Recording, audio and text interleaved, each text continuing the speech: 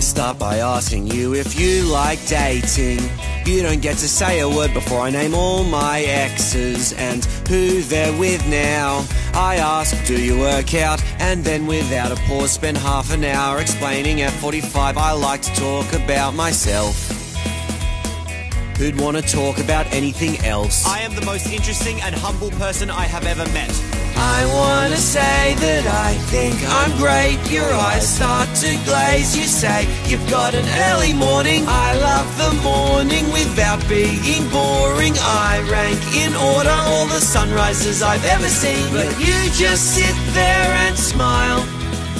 You wait for me to pause just one time.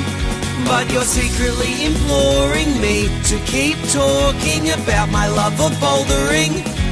I think I'm great. Me, me, me, I'm great. Me, me, me, me, I'm great. Would you guys like to start off with some drinks? The bar staff ask us, you say lots of vodka, so I start saying vodka facts.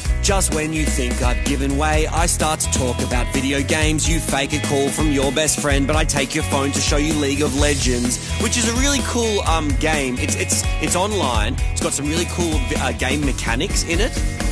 I wanna say that I think I'm great. I'm sure you'd say the same, but you don't, and that's a shame. So I say it out loud, and I bet that you are proud of the things that I've done. But then I realize that you're gone. I check a message on my phone.